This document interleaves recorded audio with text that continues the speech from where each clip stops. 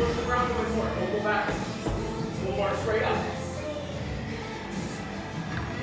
Good.